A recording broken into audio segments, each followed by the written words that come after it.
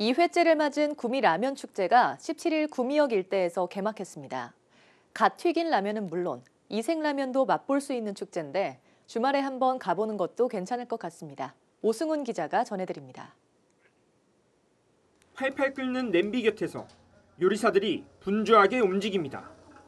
후각을 자극하는 새빨간 라면은 이내 관광객들의 침샘을 자극합니다. 구미역 일대에서 개막한 제2회 구미 라면 축제.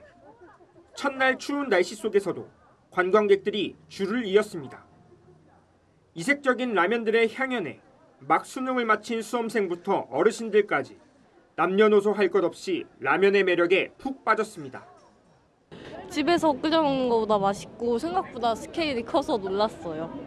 어제 수능 끝나서 빨리 놀고 싶었는데 오늘 축제한다 해서 왔는데 이렇게 먹어서 너무 좋은 것 같아요.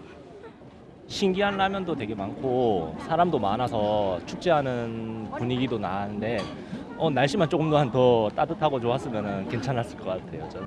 네, 저도 네, 평소 못 먹은 본 라면 먹어봐서 네, 좀 신기해요. 일본과 대만, 베트남 등 구미시와 우호 도시를 맺은 아시아 각국의 요리사들도 축제 현장을 찾아 특색 있는 면 요리를 선보였습니다.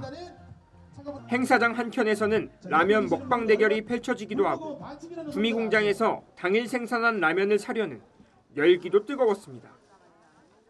구미시는 앞으로 라면을 소재로 한 시티 투어를 비롯해 라면 축제를 구미의 대표 축제로 육성하는 방안을 찾을 계획입니다. 예, 구미는 산업 도시로 어, 꽤 알려져 있습니다. 그러나 그 속에서도 라면 공장이 구미에 있습니다. 이것을 같이 활용해서 또 대한민국 사람들이 라면을 아주 좋아하기 때문에 같이 이렇게 축제를 기획하게 됐습니다. 라면의 모든 것을 체험하는 구미 라면 축제는 오는 19일까지 이어집니다. HC 뉴스 오승훈입니다.